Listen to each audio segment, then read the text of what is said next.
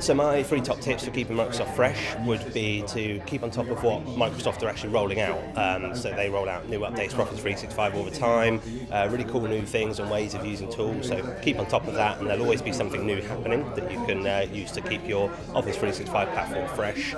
Um, really look at different ways you can simplify how people use the tools. You know, we've used audience personas to look at what tools people need, and people's uh, needs evolve over time as their roles evolve as well. So uh, really keep on top of that, keep that piece of work rolling as well, um, and then just have a play. Really, there's so many tools in the Office 365 suite that you probably won't have even scratched the surface with yet. Keep playing with them, keep trying things out, and there'll be something new there that might have a real positive uh, benefit for your business.